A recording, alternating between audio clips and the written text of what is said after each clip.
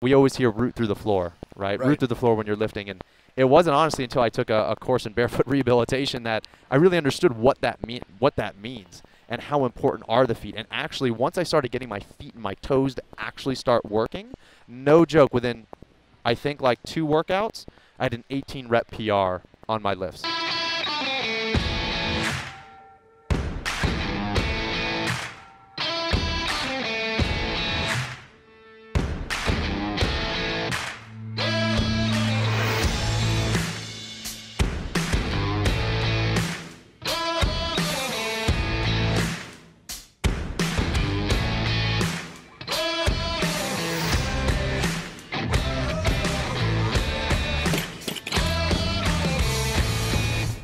Awesome. Welcome to Barbell Shrugged. I'm Anders Varner, hanging out at Paleo FX in Austin, Texas.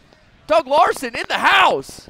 Sup, Good to bro? be here. Yo. And our boy, Mr. Strong Coffee, Adam Von Rothfelder. Killing it, right? Dude, I told you you're getting 100% today. Here we Strong go. Coffee. We are joined by a really, really awesome guest today. I'm super intrigued to talk to you, not just because kettlebell champion, but there's some weird bag stuff going on. You said the word of it. I forgot it. Can't wait to dig into this this bag thing that I saw on your Instagram. Ah, gotcha. Super interesting. And you're uh, doing a couple movement seminars, kettlebell things um, at Paleo FX. We're gonna dig into this. Mike Salemi. What's up, y'all? Um, give us a little background on kind of how you got into the kettlebell thing, because that is kind of where you've made your name and where you're you're the kettlebell champ. Mm. I love kettlebells. The sport of kettlebells is a little bit beyond me. I don't really have much of a history in it, so I really want to dig into kind of where where your background is, and then how'd you get into the sport of kettlebells? It's not like that's like the NFL. like, not a lot of people are like really involved in it. Um, It's like the least, the, the world's least known sport. But, but, Eh, you know, not, cool. but it's getting more popular now. because of you. I I hope so. Look at that. I hope so. You know, but my background really started as an athlete. I've been pretty much an athlete my whole life. I started as a gymnast from a young age, and gymnastics, I always say, left gave me the foundation for to appreciate movement and awareness at every level. No matter what sport I've competed in, it started in gymnastics and then it transitioned to competitive powerlifting for almost two years, then Olympic weightlifting, then kettlebell sport, and now it's kind of a combination of everything. But I've been super, super fortunate at every level and every sport that I've competed at to have amazing coaches and amazing mentors. So when I was a gymnast, my coach was uh, Krasimir Dunev. He was the silver medalist in '96. He also went to uh, to Barcelona, and he was a high bar specialist. So that was my coach growing up, and like the dude looked like an Adonis. So from a young age, like that was my role model, and you know he grew up in the Soviet system, and so training methodology. I mean, he was taken almost like he was taken from his home into the training facilities. That's what he eats, sleep, slept, and breathed. And so, you know, I remember from a young age, maybe like when I started with him, he was my second coach, maybe around 10, 11 years old. He was like, if you want to look like me, if you want to be like me, if you want to move like me, first thing you got to do is no fast food. So I remember coming home right away, and that's when I went to my mom. I said, "Mom, no more McDonald's. We had McDonald's, Carl's Jr., Taco Bell, and Pizza Hut literally right down my street." Uh, and it's actually the same home that I live in right now, which is pretty special. But we, uh, you know, she's like, "What?" I was like, "No." Krasimir says no, and you know, and, and that's that was my first exposure Yeah. to movement and, and through gymnastics. But due to injury, you know, it's interesting because at every single level of every sport that I've competed at, the transition from one sport to the next all happened due to injury. Yeah. So injury took me out. I had a growth spurt, and then I realized one, I'm getting tall, so uh, it's not really conducive to being a gymnast. But two, I was never, never nearly at the level that I would say I could compete at a high level in gymnastics. So from gymnastics, I had a chiropractor who at that time was the drug-free bench press champion of the world in one of the major federations. And so he was like, you know what, you're, you're pretty strong. You can move well. Why don't you come down? Why don't you train with me? And he was a part of a very, very small, close knit powerlifting team. So he brought me in, and it was a key club, so members only. And there was maybe like 16 or so of us in there, and very intense, very focused. But it was an amazing experience. So the mentor that I had from uh, Krasimir from gymnastics then turned into the owner of this gym. And a lot of the principles as I was getting into powerlifting was modeled after Louis' principles. Um, I know you guys are super familiar with Louie. Yeah. And so, you know, I started there as a young age, had a v- young age, had a very good foundation of strength, and really, really took to all the power lifts. So much so that, you know, I've always loved being an athlete, but I think even more so as a coach. So I was fortunate enough to travel to Ohio, spend about a month when I was 18 with Louie, and train over there. Awesome. And uh, you know, the owner of that gym, his name was Steve Yugi, took me under his wing, really kind of taught me the ropes for the first eight to ten years, and then uh, you know Louie kind of took it to a whole nother level. Yeah. Um, so then and then Olympic weightlifting. Uh, fortunately, we have Jim Schmitz at home, so I spent a year or so with Jim Schmitz, just trying to get a little bit more familiar with the with the Olympic weightlifting movements. And then, uh, actually, the first time your question, answer your question, how did I get into kettlebells? It was first at Westside. So at Westside, uh, you know, we're talking when I was 18, 19, so we're talking like 12, 13 years ago. Um, you know, at that time, I think right before had maybe Pavel or Cotter, I think it was Pavel had come out there, worked with those guys maybe in the few years prior. And at least when I was there, I don't know what they're doing now, but at least when I was there, they were just using basic movements, swings. Primarily, we were just using swings and just like tricep extensions and all that stuff. But so I first used that to supplement and help the power lifts, and I effing loved them. And so I always, so right when I got home, Louie connected me with someone that I could buy bells from. And at that time, I still own them. They're like the worst bells in the world. Where not only, I mean, I have nothing against all bells, but not only were, you know, handles misshaped and, you know, all sorts of crazy stuff, Mhm. but those are my first bells. And, um, You probably still get a lot done with with shitty kettlebells. oh, you can get, just like a bad barbell. Like you can still get brutally strong even if your equipment isn't like best in the world. If you're just like putting forth a hun- putting forth a hundred percent effort. Oh, absolutely. When I, I was training in Russia and uh, out there, they, uh, you know, all the kettlebells were all, the handles were all misshapen. So here now I'm used to like, like kettlebell kings is the, the bells that I use. Amazing quality bells. I help those guys kind of give them feedback to make better and better bells. And all the handles are precise, 35 millimeter standard. Window size is exactly. Bell size is exactly. Balance is excellent. Single cast, you name it. But when we were in Russia, the handles themselves, like some of them were like divots, you know, like V's. And so you can imagine. We'll really, really narrow. well, actually, still round, but at the bottom, think like it was a, a poorly sh- poor poor weld or poor construction. So you're grabbing like a point almost. You're grabbing like a point, and Yeah. imagine lifting that for kettlebell sport. We lift for 10 minute long events consistently. So even if Which it's just sounds fucking brutal, by the way. Every time I think of kettlebell sport, I'm like, those guys are fucking tough as nails. You have to have a ton of grit to be a fucking kettlebell Yeah. competitor. To cycle like 270s for 10 minutes straight, you have to be mentally to fucking strong as shit. Can you shit. set them down? no, No. well, you can set them down, but the set's over. Oh, Yeah. So Ten you- That's is a part of the time. that's the part of the sport. Oh, it's like sitting You have to be here and just sick. being like, okay, I c- Uh, can I do more? Yeah. we, we always yeah, say well, yeah, what does that event look like, just for people that don't know? Yeah, so you're embracing the suck, as we Yeah. call it. so it's either here or here's your rest period. If you stop here, like you can't, your set's over. Like you can't do a double swing. But If you're just listening, he, he- he can rack the kettlebells at shoulder height, or he can hold them locked out overhead. But you can't like hang, like you can't just like, you know, like a farmer's walk. You can't just like stand there with them in your hands. no, no, that's too Yeah. easy. Yeah. that's not Russian enough. um, I want to dig into though, uh, kind of that gymnastics bra- background. I feel like gymnastics really is like just this basic movement sport that makes everything else in your life easier. There's so many good athletes that come out of a gymnastics background, and how just understanding how to organize your spine and move in space will transfer over into everything else you do. Uh, did you find that as you, I mean, what was the injury that you had? And then when you got into powerlifting, were you able to see some of the connections and how those sports play together? certainly I, like i mentioned earlier like i wasn't even a high level you know gymnast at all but just laying in you know six days a week of practice sometimes double days it's like Yeah. for, for Double years days, six days a Just week. six Ah, days a week. No big deal. right, It's yeah. like a hobby. you know I double da- days I dabbled. It's, it's okay that you didn't go to the Olympics. You're Right, still right, a pretty good no, athlete. no, no, not not at all. But just that level of awareness, that level of body control, certainly has served me so well over the years. And also, you know, outside of the physical, you know, every single time, like I remember being, you know, being so afraid to go to practices because you're learning a new skill, right? You, you you'd be faced with your fears every single day. And I think if we look at the developmental theme behind that, it's like, you know, those are all light, you know, everything that I've learned in the weight room has served me so well in other areas of my life. So getting comfortable with failure, Mhm. going up against your fears. And so that was just routine. Yeah. And so even, you know, what might seem not scary for someone else is could petrify, you know, myself. So, you know, having to do that but also having the support of a good coach, someone who you trust, you know, was amazing for me. So I've been able to take that into different endeavors. Like even being here like I'm just like, you know, this is this is a big deal event or even, you know, sharing this podcast with you guys. I feel so honored to be here, but it's like you know, sometimes there's those fears rise up, but you just say, you know what, Yeah. you got to go through it because on the other side, the celebration, you just know it's going to be so much more beautiful. What is it like in um, and you're in Ohio? Louie not a normal human being. what is wrong with that guy? Why is he so smart? Like what what what are you what's what's going on? Why did you go there? Well, so when I was so when I first started at Steve's Gym, which is the Palace Gym, I'd been there for about four or five years, and the gym was amazing. It is amazing, but I really wanted to be a coach. Um, and at that time, the highest level, and I think still the highest level, hands down in competitive powerlifting, is Louie.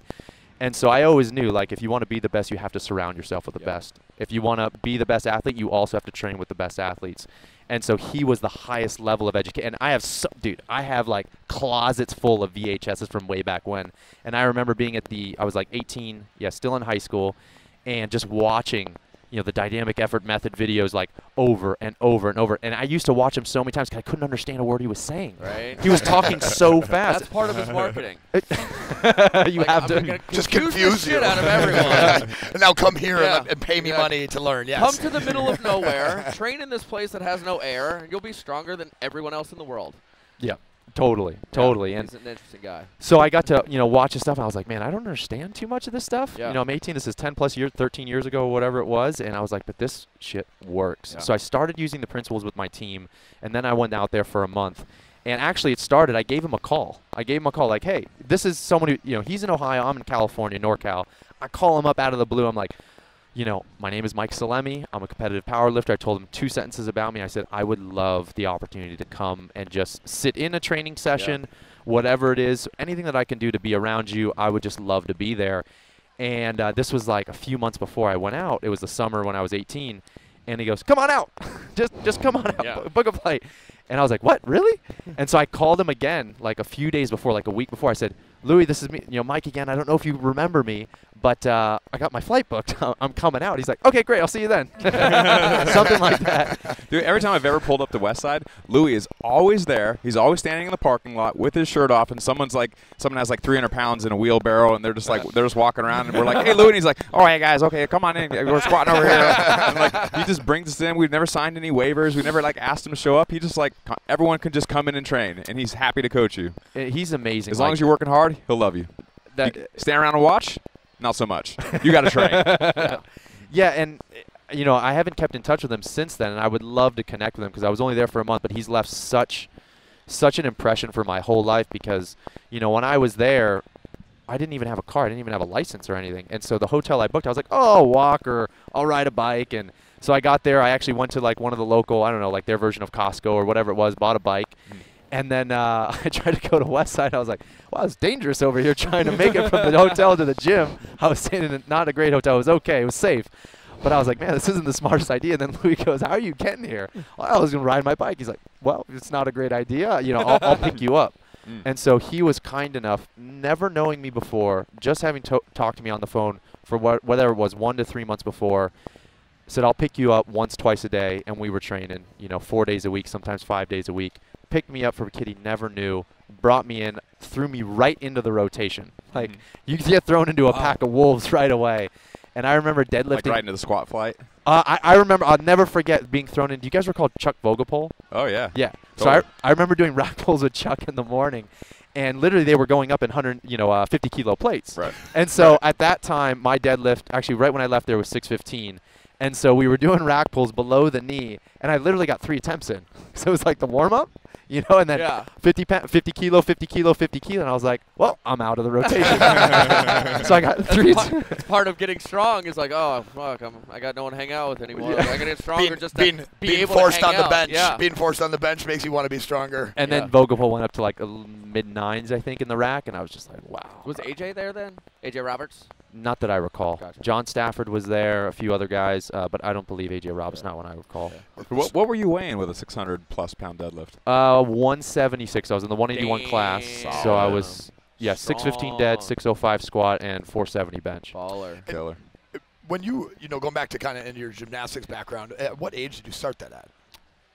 I think I started around eight-ish, give or take. Eight-ish? Yeah. And then in between that and your experience at Westside, you know, 10 years later, what was the like the the curve of your athleticism going forward? Was it always gymnastics? Did you were you I mean, were you supplementing strength training in your gymnastics already, you know, like at a young age? Did that like start later on where you're like, "Oh, I should be stronger," whatever it is?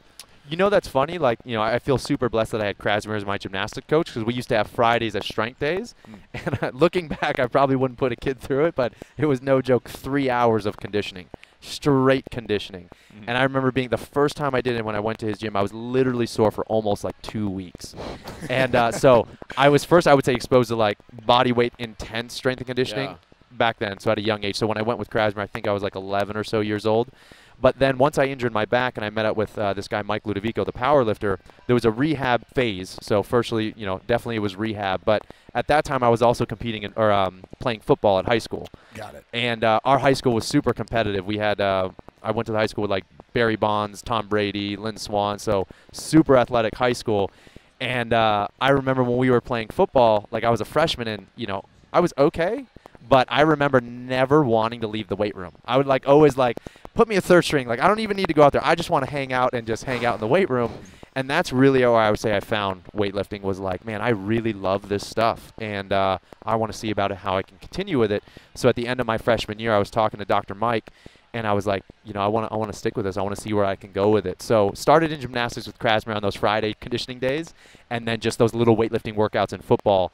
Uh, and then I was like, dude, I, I want to be in the gym. Did you find yourself to be uh, stronger than a lot of the kids that you were of equal proportion just because of the gymnastics training? You know, because gymnastics has such a great isolative isolation component, and that's uh, strength that a lot of people are missing in today's culture with like constant movement and that being able to isolate. Do you, did you feel that? Absolutely. Yeah, I think I was one of the stronger guys on the team. Definitely, we have guys that were much bigger than me because at that point, freshman year in high school, as I was coming out of gymnastics, I was on the skinnier side, on the smaller side. Mm. So I wasn't, you know, one of the bigger guys, but I definitely could push a good amount of weight. And then I had the awareness to, you know, self-correct and different things. Yeah. So I had more awareness when there was some Olympic movements taught, even though we didn't have too much teaching in them. Uh, but I was able to kind of learn a little bit quicker than maybe some of the guys. I find that gymnasts have a better ability to correct like their Head and neck alignment. head and neck alignment because they're like finishing, like looking a certain way, and it's almost like something that they snap to very well. So that's That's an That's interesting observation. Yeah. yeah. I Did your lower body lag behind your upper body for any period of time? Since gymnastics, especially strength-wise, is so upper body dominant. You know, that's interesting. I never would have thought of that, but I would say that that's definitely an accurate statement Mhm. for sure. But it's interesting because I gravitated mu- like the deadlift for so long. Now I would say probably the squat, but the deadlift for so so long was my favorite lift, hands down. Mm-hmm. And so I think it was because like we never really did that, you know, in gymnastics or anything like that. So Yeah. you always want to you always want to learn what hopefully you're not very good at. Yeah. So it's like I suck at this. I want to learn it. I want to put my reps in. And Yeah. so I love lower body training. So I would definitely say there was a definite discrepancy. Yeah, because your deadlift is really, really high compared to your squat. Most, most powerlifters squat a little bit more than they deadlift. But you, well, you were like six and six, right? Something, Yeah, something six, similar. 615, de- little higher dead than I was the squat, so fi 10 pounds. Yeah, I mean, wor- world records for squat are in the 12s. The very recent world record for deadlift just hit 11, 1100. So squat typically is a little bit more. Were you were you wearing gear? Like were I you was in wearing a squat gear, suit and all that? I was wearing Yeah. gear, yeah. Yeah, even with a squat suit, like oftentimes squat suits help the squat more than the deadlift, and so that's part of the reason that people squat more than they deadlift. But that's really interesting that you're you're more balanced between those two movements. Yeah, I found that's, that's I would say that's totally accurate. Like what I found on the deadlift, even though I definitely did straps up suits, like I was most comfortable just deadlifting in groove briefs, and then I would just throw a singlet over it, Mm. just because I had more freedom to get down. But I found for sure on the squat, like being totally wrapped up, cinched up, like it definitely helped. But the deadlift, it, for me, a lot of times it was more of just getting in the proper positioning, made it a little bit more tougher to be in the gear. So a lot of my pulls, best pulls, happen just in groove briefs. Did you wrap 615? Did you, were you uh, were you raw or were you like uh, were you fixed to the bar? Were you using hand Straps. No, I, I was not using hand straps. Wow, yeah, yeah, yeah. no, So no, that raw was grip. That's awesome. yeah, raw grip. Yeah. Yes. It's interesting that you went from that powerlifting piece, though. I feel like a lot of powerlifters they just really lack the mobility to be able to get into certain positions, and then transferring that into Olympic lifting. Um, I lived in San Francisco for like three months and had no car, no money, no anything, and all I really wanted to do in that three month period, and it never happened, was like take the nine buses that it was going to take me to get to Schmitz's gym, so I could just be in that room with that guy. What what is that experience like? Like when I moved there, I was just learning about Olympic weightlifting, and I was just like, I have to go to find this guy. he has answers for me. Like, how do It's I like a unicorn. there? Yeah, but it, I literally like there was it was like one of those things where I had I was living in the studio apartment that cost me way more money than any tiny studio should ever cost anybody. No car, like it was like four or five buses just to get there, and it was like I I just can't do this right now. But what is that experience like? That place is incredible. Was this when he was at Physique Magnifique downstairs in the basement? Uh, yeah. Yeah, yeah, yeah, okay, I- I know it was like yeah. Yeah, because then the old days he was in the Sports Palace. weightlifting had not taken off at all. It was still like a pretty underground like strength sport, and that's why it was like impossible to get to where he was. I don't even know where he is now, but Mm. um, it was it was far enough away that it was just like I couldn't justify literally the 45 hour whatever the hell it was to get there. I remember just being like, I can't do this right now. Like, um, but what is that? What is that experience like? He's a he's a master. Like, he's, Oh, he- he's incredible. He's amazing, and I only stayed with him for about a year, mainly because, like, I, I mean, I really my whole objective from working with him was just to get. I had no introduction really, a little bit in football, but not much at all. Especially because I only did football for a year, freshman year of high school. So I just really wanted to learn the Olympic lifts a little bit better, get an introduction, so that I could feel more comfortable teaching them. So I, my whole goal was like, I'm going to work with, I want to work with the best of the best that, that I can get access to, for something reasonable, where you go through a legit training cycle.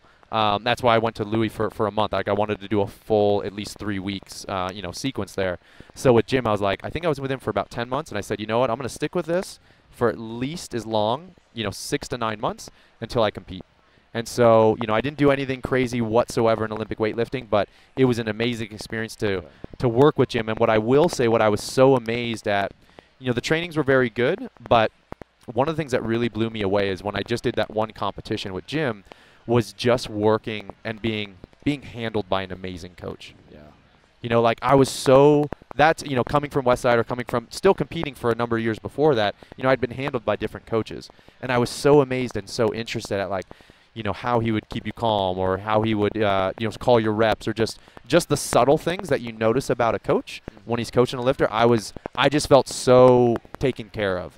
And um, so yeah, I never went far enough to really do anything legitimate with it, but or in terms of like big numbers or anything like that. But Yeah. in terms of having that experience of, you know, learning some of the basics and then feeling what like a true master coach is in Olympic weightlifting, it was incredible. Did you have trouble learning the lifts, or was your time just around barbells enough? Because you've seen a lot of strong people, and all of a sudden you give them an Olympic lifting movement, and all of a sudden snatching is like this arm movement. and they don't understand their hips. They don't understand pulling under the bar. Uh, did you struggle with any of that stuff? I definitely did. I think the gymnastics, honestly, you know, the powerlifting hands down let that found made that foundation of strength for Yeah. sure. So that's the base, right?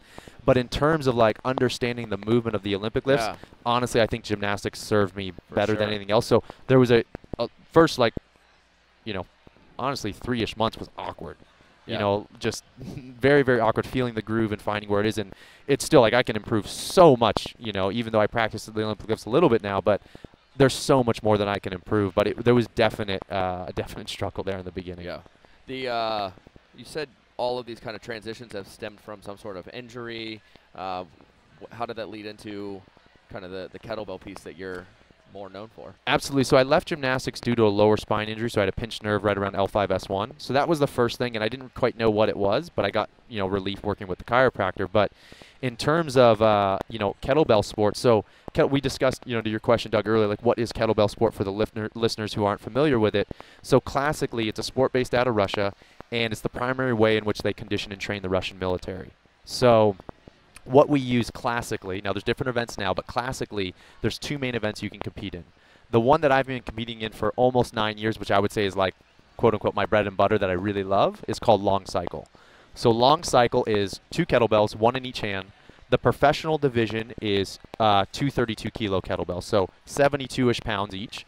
And then we also have amateur division 224 kilos or 216 kilos for men as well. But professionals 232 kilos. So you swing two bells through the legs behind the body, clean them up to chest level, jerk overhead, pause, fixate. So that means the bell has to stop and the body has to stop moving. Then you lower the bells down, swing through the legs, and you repeat as many times as possible via judging, making sure what's a legal rep, in 10 minutes. You can't set the bell down, otherwise the set's over. And so that's long cycle.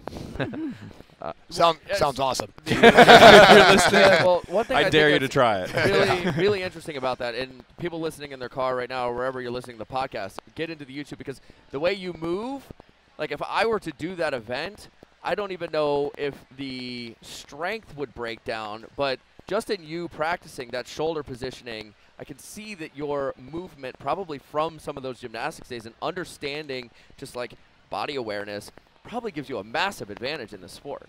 I would absolutely say, yeah, that body control, that Yeah. body awareness, even again, just those few years as a, as a young athlete, s- has served me so well, Yeah. so well. I can't do a handstand that well, so I'm probably gonna suck at going overhead for be 10 straight minutes with 72 pound kettlebells. You'd be pretty shaky. Yeah. Why- maybe. Well, I mean, it's interesting because so much of gymnastics is, you know, getting that sacral, that pelvis Yeah. to, you know, finish forward, and so many things you do, whether it's a flip, you know, getting the knees up, keeping the chest straight, and when you get that kettlebell, it's that all carries through very nicely, and protecting that lower back. When you're sitting in that position in the rack, you kind of sink in, right? So you're sitting in here. You demonstrate. You're the you're the pro at. Yeah, yeah, yeah. So what you're demonstrating is, I would say, like, You're doing it good. Yeah, yeah, yeah. I'm so nervous. Am I doing it right? I've, I've done a little bit of it. You know, I've done a little bit. I, I, I worked under Pavel when I was like 21. I Oh, like, rad. Yeah, so I mean, but I mean, I have never competed, uh, but I know that you know with that with that jerk-like position, a lot of people will kind of get into their lower back, and that actually becomes the fatiguing aspect where a lot of the guys can't get back into this tucked position anymore, and they're like holding on to it here, and they start losing it. Absolutely. So essentially the rack position that we use in kettlebell sports. So we have a few strategies. So let's let's maybe talk about if people are familiar with hardstyle, or more of like the Pavel type of training, that would be more of a hinge-based type movement in terms of the lower body. What's the lower body doing? The main qualities that it's expressing is primarily power and power endurance, right? So it's a hinge-based movement that's derived from a deadlift.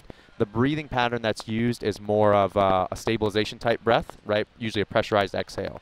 When you compare that to strategies that we use in kettlebell sport, it's a little bit different because now the goal is how how how much can we maximize both movement and energetic efficiency? And I would say there's three three to four primary ways.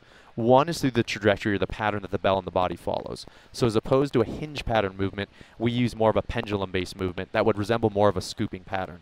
So when you use a scooping pattern, what happens is, is essentially you're recycling the energy back into every single repetition. So the bell will fall as the body falls, and you can see my knees are migrating forward. Then from here, as the bell goes back, my hips and my body goes back. And then there's in fact a re-raising of everything else. So what happens is the bell's raised to a higher point. So now you can ride the wave of momentum down, and you can essentially scoop on the way down as if you were doing a vertical jump. Because what'll happen is, is you know, I'll ask you guys, and I always ask this in my workshops, is when you're doing a hard style swing, and I use that time and place hands down, it's amazing. What's the main direction of force, or what's the main direction that the bell's going when you're doing a hard style swing? Forward. Forward, exactly. But in a in a jerk, or let's say in a snatch, where does the bell need to finish? Up. Overhead, right? So, what we learn in kettlebell sport is to not only accelerate, decelerate, controlled. How do we work with momentum?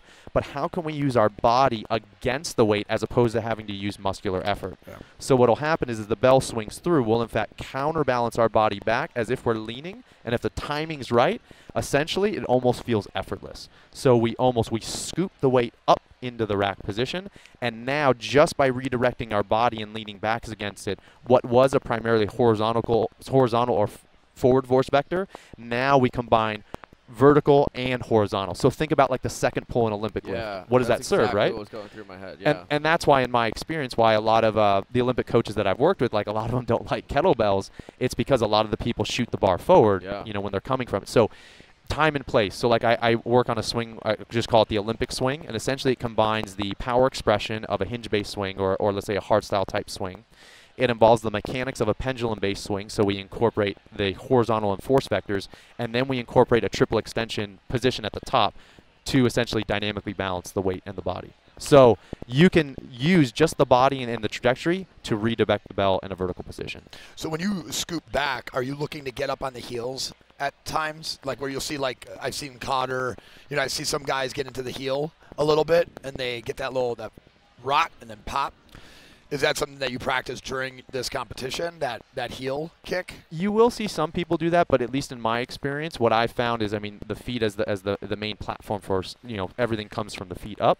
I like keeping my feet flat to the floor, uh, especially through the big toe, so I can push and accelerate through. Especially like even once I really, you know, I, it was interesting. You know, we always hear root through the floor, right? Right. Root through the floor when you're lifting, and it wasn't honestly until I took a, a course in barefoot rehabilitation that I really understood what that mean what that means and how important are the feet. And actually, once I started getting my feet and my toes to actually start working, no joke, within I think like two workouts, I had an 18 rep PR on my lifts Wow. just by getting the feet and being able to transfer that force from the ground into the body on up. Oh. So I would say going back to that, it would be the the mechanics of the movement, so the pendulum-based swing, right, that redirects the vel into a vertical position, and we can ride that wave of momentum and contraction. Then uh, I would say we can talk about breathing after, but the breathing is very different, right? But then definitely the rack position. So the rack position is a compensation strategy of what we use because when I was, you know, what got me into kettlebell sport, or actually what what, in, what the injury I sustained in kettlebell sport was uh, a compartment syndrome in my arm that no one could figure out except for um, you guys know Paul Chek super well. Yeah. He loves you guys. Right. So he we may, maybe touch on him a little bit after. I'd love to share my experience with him because he's been such a great teacher for me and such a great help over the years. But the rack position is essentially a compensation strategy that we use in order to get some position of energetic rest. So in a in a good solid rack position, kettlebell sport specific to compete at a high level, the legs are completely straight to which we actually turn off the quads and you can shake the quads. So the legs get a, an energetic rest more or less. Then the elbows are tucked in and you're actually resting the elbows on the iliac crest. So from this position, we turn off the shoulders. So we've turned off the quads, we turn off the shoulders. And then from here, when you dip down in the jerk, you maintain that level of connection and then you come up. So actually, the arms only come up, honestly, just like an Olympic barbell. It should be you duck underneath the weight. So you're almost driving the bell off the the the hip and the lat in a sense. and Exact- so- Versus the versus like a pressing, sitting high up, where so many people are used to with like say like a front squat using kettlebells. Yeah, you're definitely not doing the elbows up because the more you can use the legs to drive the power from the earth into the arms into the bell, the more we call it the bump. So it almost looks like a wave-like fashion where boom, and then you drive underneath it and jerk. That's sexy. Yeah. So what, what is what is yeah, what is a 10 minute world champ doing with 72 pound kettlebells? Well, it depends what weight class. Obviously, weight class and Oh, stuff like okay, that. cool. Uh, but at least uh, the organization that I compete in, which is uh, the WAKSC. Uh, so that organization. So I weighed. Uh, I was in that one, which was two years ago in 2017. I think I was in the 160 poundish right class. So I was doing uh, 232 kilo bells and I was 51 reps. Um, and then I also compete in the five minute category for 240 kilo weights, 240 kilo bells as well. I'm gonna do 10 sets of five on that. Set it down hey, um, we're gonna take a quick break, but to be honest with you, I can see that you're like a real student of the barbell and movement, and this is freaking awesome. When we get back, I want to get into some of the new stuff because when I scroll through your Instagram account, stuff you're talking about, I've never seen some of it. Awesome. Let's let. Shrug listeners, welcome to the Shrugged Collective Program Vault. Over the last six years, we've been leading the charge in online strength and conditioning programming and coaching. And for the first time in the history of the Shrug Collective, we're combining our 11 best selling long term and short term accessory programs into one membership site called the Program Vault. From Olympic weightlifting to strongman, leaning out, nutrition, you name it, our 11 best selling programs are yours for $47 a month. Get to shruggedcollective.com backslash vault and you will find immediate access to our 11 best selling strength conditioning programs. Welcome back to Barbell Shrugged. I'm Anders Varner, ABR, Doug Larson, Mike Salemi. Yo, this uh, this new piece of movement that you're getting into, some sandbags, some throwing this thing around your body with long straps, which I'd never seen before. But you mentioned Paul Chek before the break, Yeah. and uh, we got to interview him. I'm still not really sure how much he came into my soul in that interview, but I feel him. And his name comes up a lot, and I don't know if I'm projecting him through me, but uh, what was your relationship with him? How did you guys find each other? And yo, what is the shaman up to when he's when he's fixing your arm? No one else can do it. Yeah, yeah. So, you know, I've been studying Paul's work since pretty much right near when I was at the highest level of powerlifting for me. So right before I went to Westside. So when I was 18 years old, I was working at a, as an SNC coach at a holistic lifestyle center. So I was so blessed and I, I feel incredibly grateful because that center essentially was modeled all after his teachings. So at a fairly young age, I was exposed to Paul Chek's work, how to eat, move, and be healthy. And then later, I wanted just to take my coaching to a whole nother level, and so I started enrolling in some of his classes. And I, you know, at that point when I was studying his work, I mean, Paul's really made his name off of. He's really solved medical failures, whether it's been professional sports teams, cancer, you name it. The, the cases that no one would want to take or could take, when someone's been through 10 or 20 doctors, they would go see him, right? So I remember being in his holistic lifestyle level coach two class, And at the end, we do uh, essentially a commitment for a meditation practice to do 100 days straight of consecutive meditation, uh, meditation. And he would sign this this wooden stick that we use in a gong practice, we call it. And I remember being in a long line of people from all over the world, and like I didn't have. Essentially, I would just come off of a kettlebell sport comp, and at that time, I was trying to reach one of the highest levels in the sport, and almost four years consistently, if I recall correctly, every single competition I would get close but fail, get close but fall short, get close but fall short, and it was such a self-destructive process that it was just it was to the it just destroyed me. And I remember being in tears, and I was just like, who do I go to? What do I do? And I had HLC2 at that time lined up a few weeks after one this this one competition. And I was like, you know, I'm just going to ask. I'm going to ask, does he take clients or what? Because at that time, you, you know, to me, especially as a student and studying for years, I was like, oh, Paul Chek's up here. You know, he'll never, you know, doesn't work with the common man. And uh, I remember being in class, and I was just like in the line. I just within five minutes with a whole line of people behind me, I was like, you know, Paul, I have this issue with my arm. No one can figure it out. I've been trying for two and a half years. I've seen nine different practitioners, all good people, great people, but I just can't figure out what's going on and he asked me like two questions at the time felt around and he goes i think i know what it is but i can't i goes i can't be for sure. I can't promise you anything. I'd need to get you down to san diego get you on a table and assess you. It's going to take one to two days at least to assess you and write a program.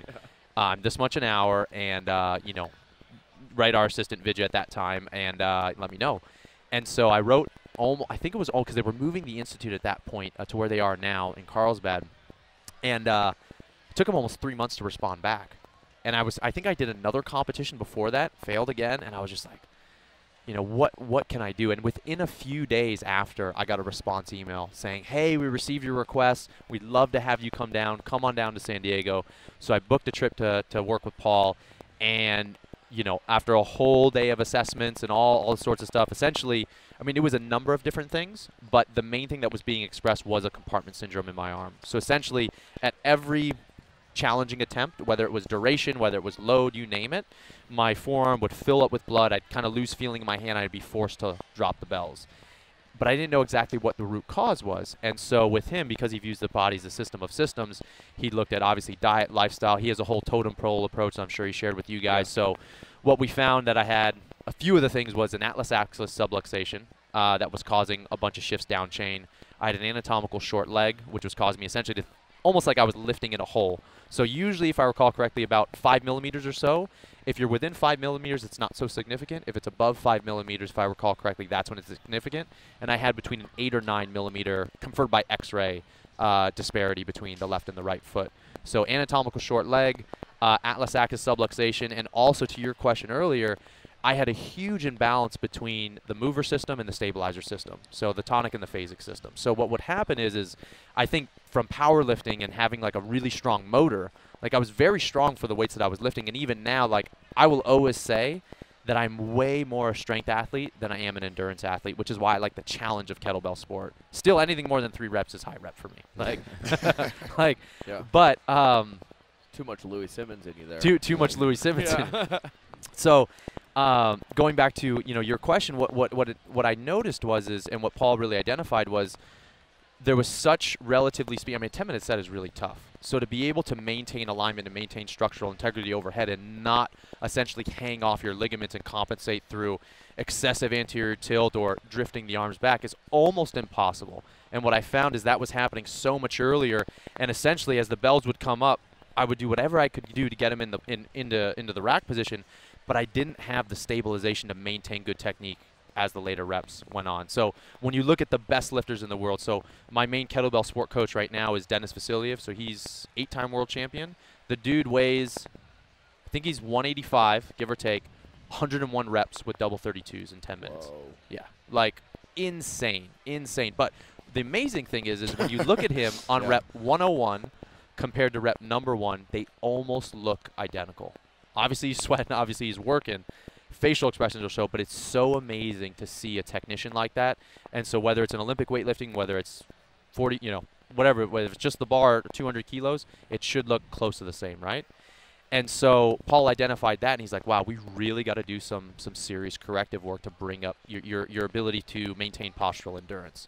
And so that was a big thing from a conditioning standpoint. So Um, you know, fast forward two and a half years. So what, what I would do is pretty much every single month I would fly down to San Diego, spend one to two days with Paul. We would do a check-in in the morning. Uh, all during that time, pretty much we would uh, track all of my markers of musculoskeletal system stress, limbic emotional stress, and hormonal stress on a daily basis. It was on essentially a Google Docs that I created. He would be able to check it on real time and really, in, in, in addition to his uh, four doctor system, really start correlating all the lifestyle factors, whether it was I was under relationship stress or I was under family stress, and exactly how that was affecting my training and everything else in my performance. So, two and a half years of once a month traveling down and really assessing, checking in, writing a program. Um, it was just an amazing experience, absolutely amazing. And you had mentioned, uh, you know, what does the shaman do? And I remember the first time I went to his, his office, which is in a beautiful place. Gorgeous. You guys have been there, yeah. It is fun. And you look on the table, and there's so many it's a herbs. legit view. It's like it's like at, at the peak of, of a mountain, more or less, where there's big cliffs on each side of his house. It's like you know 270 out of the 360 degrees around his house is is a fucking big drop off over a canyon. It looks Yeah. fucking amazing. Like if you Yeah. were to find a way to become Paul Chek, you have to go to a top of a mountain to be able to understand the insights that he would have into movement and I, health and I all imagine he just lived in a cave in a mountain.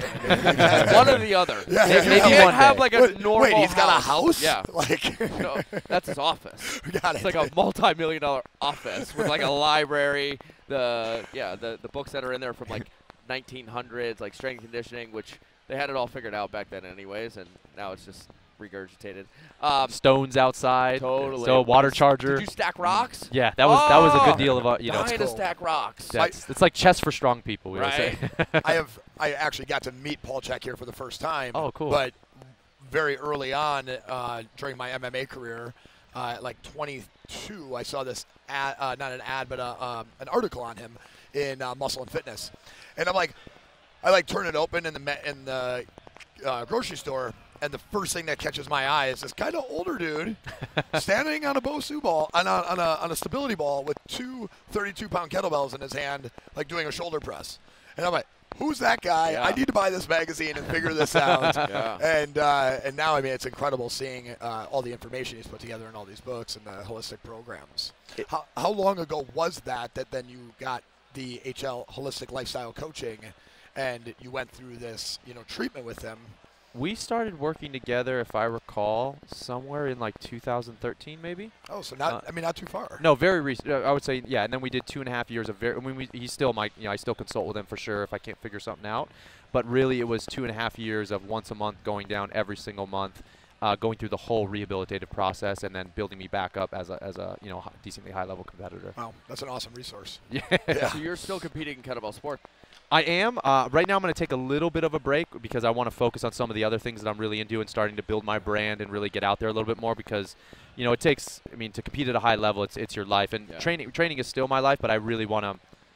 One of the messages for me right now that I've been getting is for me to really grow to the next level, it has to be about everyone else. And Yeah. so, developing more programs, doing what I can do to travel, teach, and really just share what I love, whether it's a combination of Paul stuff, kettlebells, Bulgarian bags, ELDOAs, you name it. Like, Hold on, slow down. We got to get into all that. You're just gonna Awesome. clam, Just- ah, just pretty much all this stuff. Um, Shocked everybody. yeah, it's a. Bulgarian bag. yeah, Bulgarian bags. Let's just break them down. Talk Yeah. about them. What do we got? Bulgarian bags. Go. So Bulgarian bags developed by Coach Ivan Ivanov. So a Bulgarian Olympian. Uh, I believe he was actually at the year uh, that Krasimir was at the Olympics in '96. So Bulgarian Olympian, but also one of the former U.S. Olympic coaches. And a Bulgarian bag, if anyone listening to the show is, is looking one up online, it almost looks like a sandbag that's kind of like in a horseshoe shape. And essentially, what he was looking for was a tool that he created. Now, the Bulgarian bag is only one out of five tools in his whole conditioning system. He was looking for a tool that would mimic all, specifically wrestling, but it would have it has applications hands down to all grappling sports, uh, which I'll kind of get into in a little bit. But every single movement that he used and created with the Bulgarian bag all mimic sport-specific movements, whether it's throws, you you name it. And the most iconic movement is what we call the Suples spin. So his company is Suples, and it's the Suples Bulgarian How do you- bag. how's that spelled? S U P L E S. Boom. there it is. Boom. Oh, right on the shirt. there we go. Yeah, so, but an incredibly fun tool. And if I were to say, so you may have seen me. I don't know if you could see me, but the ball that I was swinging around yesterday. Yeah, So we that's see everything. You see We see everything everything. up from up here. We're, we're, we're on cloud. We're on clouds. Uh, the Suples ball uses very similar movements to the Bulgarian bag. So the spin type movement, where essentially the the Bulgarian bag is primarily designed for strength and power, especially grip and cardiovascular conditioning. But if I were to say the most, it would be grip, strength, and power. And when you compare that to the Suples ball, you're really, really working speed and endurance. And you're learning how to accelerate force, how you're learning how to decelerate force through rotation, all the movements, all mimic fight movements, especially in the sport of wrestling. So it's an incredibly fun tool, and every single person that I put have gotten their hands on the bag has fell in love. Like especially for the jiu-jitsu athletes, we make jiu-jitsu sleeves out of gi material. And so, I mean, the main training bag that I use personally is a 37-pound bag. When I was first using the gi sleeve, coming from a 37-pound bag, I was literally using a 17-pound bag. And the increments between bags, you could kind of think of it like kettlebells, like a Yeah. four-kilo increment on a bell. Yeah, It's a lot of lot. weight. That's actually something I wanted to talk about a little bit with the kettlebell stuff. Is like Yeah. when you look at kettlebells, it's like I've got 16, 32, 53, 72, 100, like 88. How like There are ones in between. Yeah. Some people just don't buy them. yeah, but like, you know, like there isn't like these small progressions that you can take in these sports. So from a 17 bag, pound bag to a 34 pound bag, how long is that progression in that people can learn these things? So it's a great question. Well, now when you got companies like Kettlebell Kings, for example, so it used to be with bells at least four kilo increments, but now they manufacture two kilo increments in all. They, they sell both cast iron type bells, but also competition bells, and the competition for sure in two kilo increments. So it makes the developmental progression so much easier. And even like usually you can even kind of a Jimmy rig like a one kilo increment too, or like sometimes you'll see maybe my Instagram like I've got plate mates that I've taped on, and Mhm. you know uh, you I've just seen the fraction plate like duct taped on the just- bottom of the Doesn't bell. anyone have it like a big magnet, like a They- one-pound magnet or something? They do. There are companies, yeah, that'll for sure do that. Just make sure that the magnet is strong enough so it doesn't Fling off. fly off. Yeah. Someone goes blind from a kettlebell swing. So we're super fortunate now to have smaller increments, so it Yeah. makes the training process much much easier. But in the bags, I mean, once someone because the bags really there's four main dynamic movements that you use with the bag that we teach in certifications. Number one is the spin, which is more of a rotational based movement. Number two is the snatch, so all the way through the legs, kind of like a kettlebell swing, up, punch overhead, repeating that. The third is an arm throw, and then the fourth is we call swing squat, where essentially pull the bag through the legs, squat, almost like um, a swing squat with a kettlebell, but different implement. Mhm. So those are the four main movements, but there's just like kettlebells, there's hundreds of movements that you can use, and they're all different patterns. How do we change angles from one position to the next? How do we train levels from high to low? Yeah. How do we rotate? How do we do all these things seamlessly and rhythmically from one movement to the next? I think it's really easy to get lost in the kettlebell world too, because everyone just thinks swing, snatch, clean, and the flowing stuff that you're doing and piecing all this stuff together and like continuous movement. And you talked about how you're running a seminar here on the the flowing warm up. Um, is that just bringing all these pieces of your training life together, and kind of where does that come from, and how do you structure those? I guess the purpose of flow is not to be structured, but um, yeah, like especially in teaching it to people. Yeah, I think, you know, I was really fortunate. You know, my, my background at first started off quote unquote hard style. So developing, you know, movements that stem from the deadlift or powerlifting based movement, grinding based movement, strength based movements.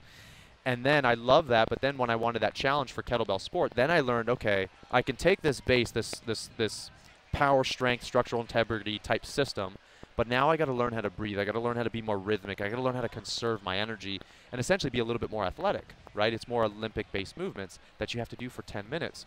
So, being very very like fully fully immersed as a hard style practitioner, kettlebell sport practitioner, and then just wanting honestly in recent years and it was so funny, you know, in Paul's program, I always always remember he focuses a lot on play.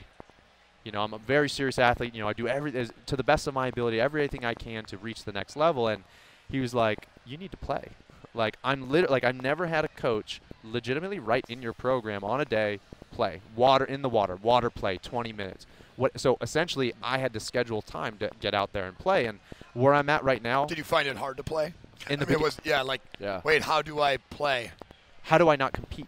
Right. How do, how do I dis- How do I not turn this into a workout? Yes. Right. So unbound play was very something something very hard for me in the beginning, but over time you kind of just you just kind of fall into a groove and you get with it and you start enjoying it a little bit more. So I so think is that, that like a time of like planned experimentation time where you can just you're playing, but really you're trying out new things, you're innovating, you're seeing what new things might feel good that you can incorporate into your workout later. Is that the is that the point? the play for me in that situation, the play was actually something that was incorporated in all all cycles, so it wasn't like a testing. But we definitely did on the off season. Let's say, okay, we're going to try and gain a little bit more mass here. We're going to do, you know, play with some different strategies. But the play was more one just to just to balance my life stressors Mm. and just to have a more well-rounded approach to lifting and in life because you know what had happened was is for for most of my life I was the all or nothing athlete. And so if I lost it was mentally and, and emotionally destructive. But I didn't really have this concept of what is a process goal? How do we enjoy the journey? How do we get more enjoyment so that whatever happens or even if my life doesn't, you know, if I stop being a competitive athlete, that I can still be happy and, and love myself at the end of the day essentially. And so that play, I think, was such a huge part. One, two, from a physical perspective, like doing unbound play in the water to decompress and just move after some double days is amazing for the body. But then what I found, it's like there's no rules.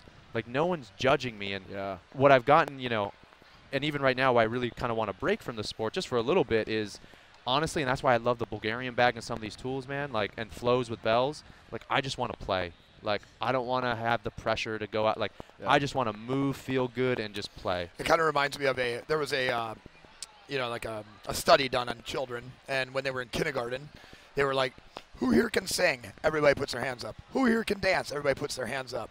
And then they asked you know third graders, and it was down like 60 percent Mm. because now they're being judged and graded on their ability to do those things singing class art class right so it's like for someone like you you built everything up to be you know for a function of strong and this and that and you lost the ability to just move without this context Yes. so doing this did you even feel like that helped your injuries i mean was that something that kind of assisted in you staying injury free was the play was that one of the was that one of the aspects or one of the, the thoughts behind play I would say so. I would say so. And one thing, I mean, when you're competing at a high level, I mean, injuries are going to happen. Like, they're just it just comes with the territory. But at least you have more tools in your toolbox to like, okay, if things do get out of hand, like, what do I do? And so that's what I really learned is okay, getting in the ocean and playing ice cold water after training, going to the beach. Half Moon Bay, if you guys ever been, is like ice cold water. Yeah. And really dangerous. Half Moon Yeah. Bay? Half Moon Bay, beautiful Yeah. place. I, Uh, was, I was at Mavericks last year when it was 25 foot. yeah, so pretty Frightening. So oh, that's a real thing oh, it's terrifying.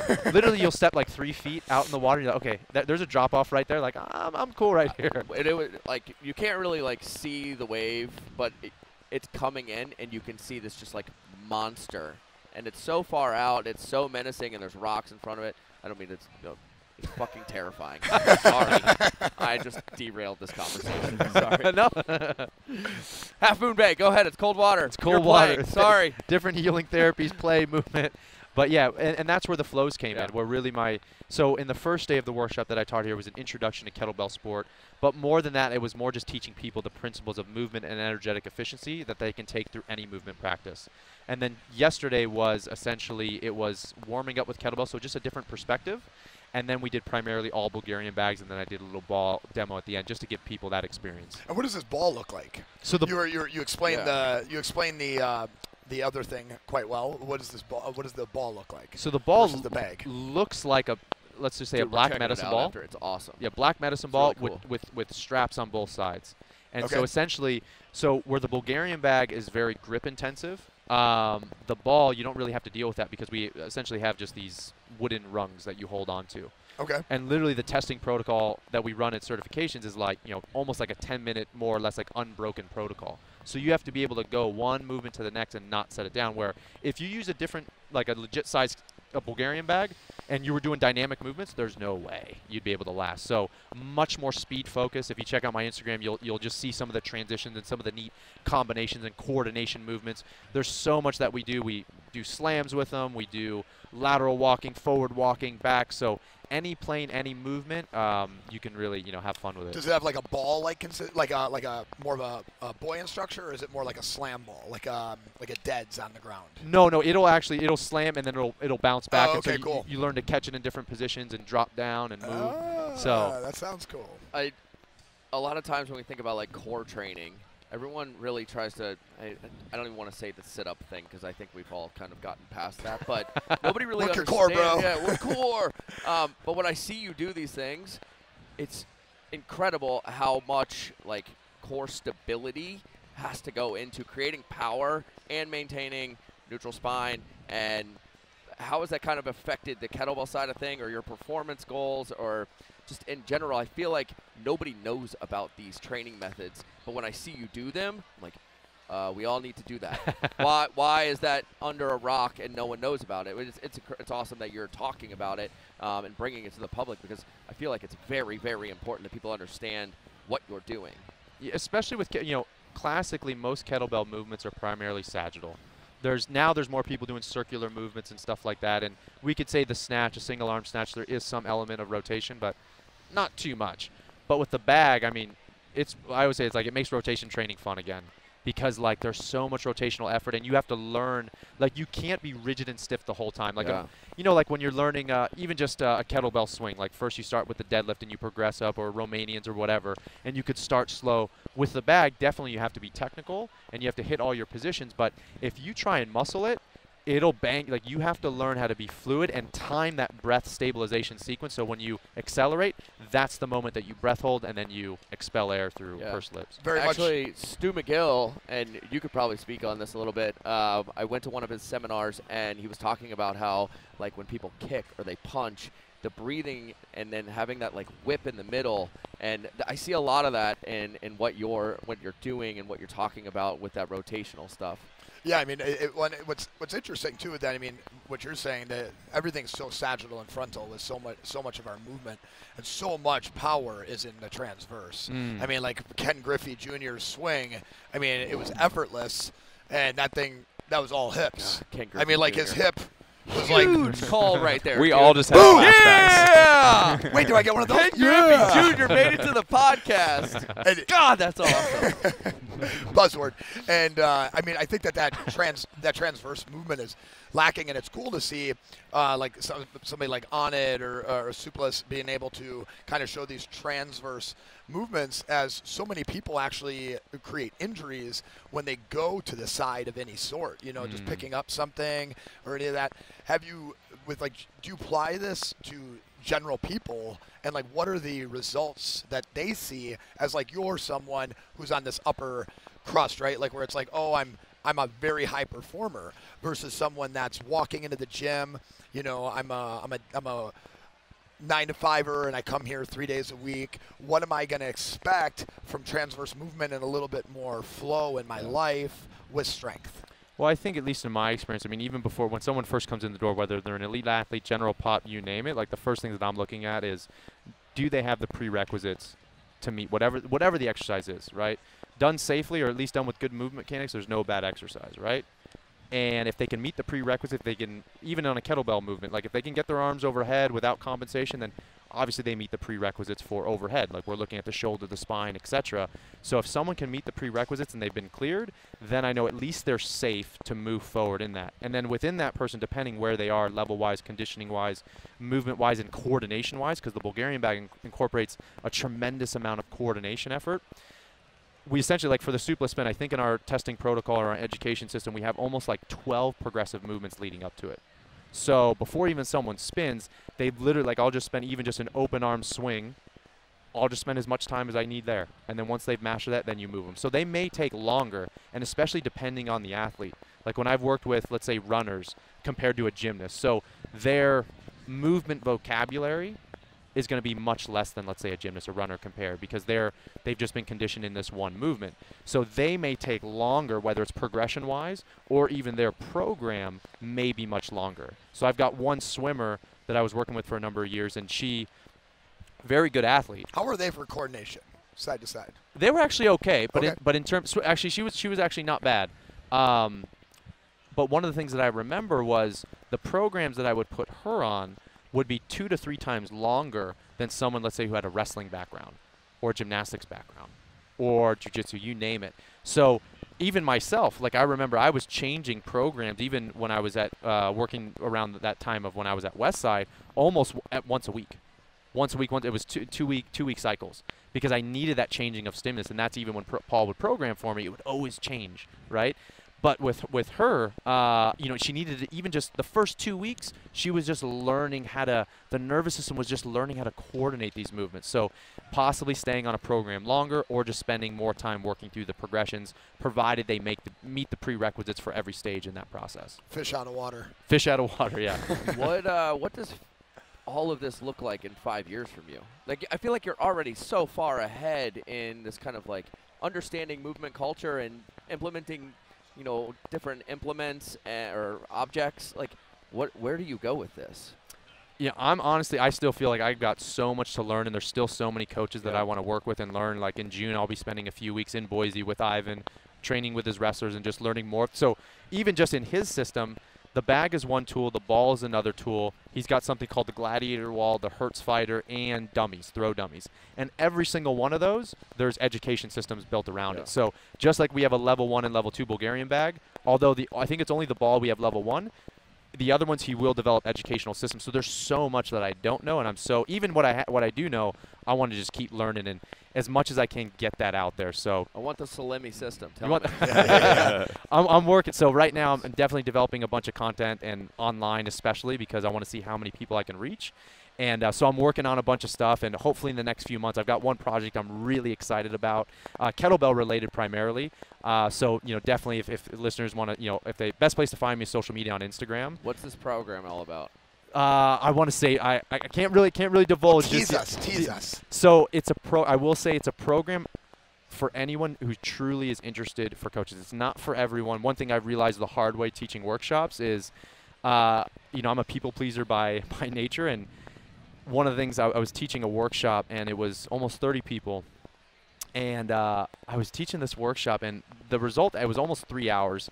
And most all the people there, like 90% of the people, absolutely loved it. Like the feedback was, he's passionate, uh, he's form focused, he's technique focused. Wow, I love the instruction. And then maybe 5%, it was interesting because it was a donation based workshop that I did for a new gym opening up. There was, I think, like a handful, five or six people that showed up drunk. And I was like, or showed up from partying the night Yeah. before. And some of the comments were, he's boring, he's bossy. And one of the things I realized was the same content, the same delivery of information that I go into whatever seminars, give my whole heart. All this is my this has been my life since I can remember. The same information presented to the wrong people could do actually harm to your business. And so what I realized is, I mean, I'll work with anyone, but I gravitate most towards athletes and especially coaches.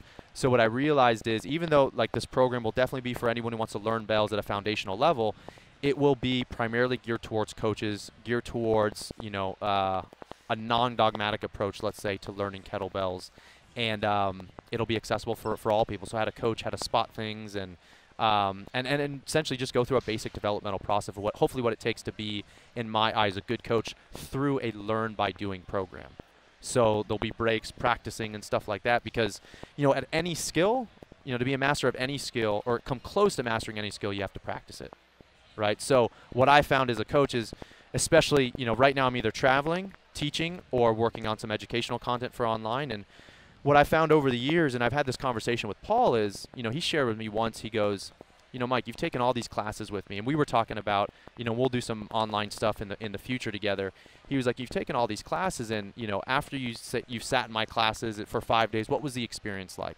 And I was like, shit, man, exercise coach, which is the base level of his practitioner side, amazing, changed the game for me in terms of learning how to be a more well-rounded personal trainer and learn at like the body as a system of systems.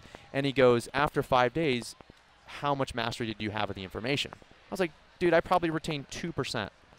And so what he shared and showed to me is like, well, one thing, if you really want to master any craft, you have to practice it.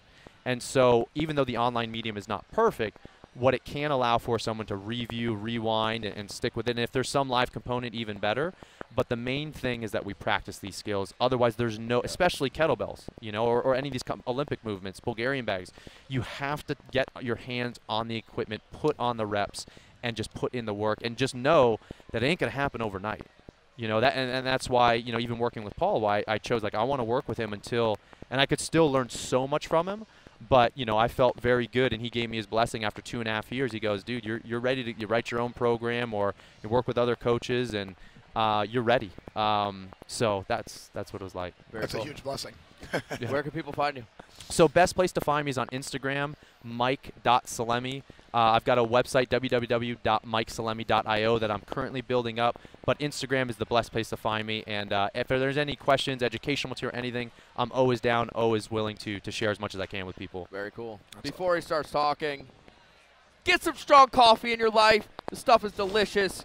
Now you fill in all the things that I don't know about. Well, it's delicious. It's it is instant. delicious. You guys have uh, coached me well on that, and you know, I uh, it's uh, it's an incredible product. It's an incredible opportunity Yeah. to bring something to the market that's uh, going to change people's lives in the sense of spending less time making coffee and standing in line, and more time doing the shit that matters. So, it's uh, instant formula with collagen, hyaluronic acid, coconut water extract, L-theanine, and uh, MCT oil, all put in an instant formula that mixes in hot or cold. Use BBS 20 for 20% off. We're 14 interviews in four days. Strong coffee works. Strong coffee. Gonna make you better. Go to strongcoffeecompany.com. Yeah. Yeah. Doug Larson And it mixes incredibly well. does. It mix well. does. It does. Uh, you can follow me on Instagram at Douglas E. Larson.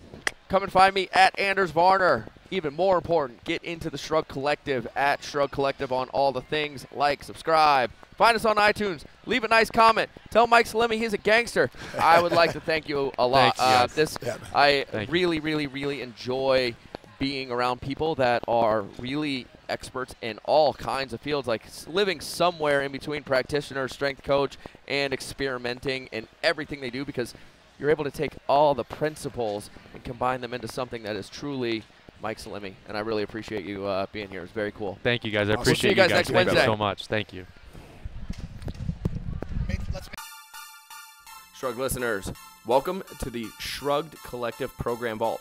Over the last six years, we've been leading the charge in online strength and conditioning programming and coaching. And for the first time in the history of the Shrug Collective, we're combining our 11 best selling long term and short term accessory programs into one membership site called the Program Vault. From Olympic weightlifting to strongman, leaning out, nutrition, you name it, our 11 best selling programs are yours for $47 a month. Get to shruggedcollective.com backslash vault and you will find immediate access to our 11 best selling strength conditioning programs.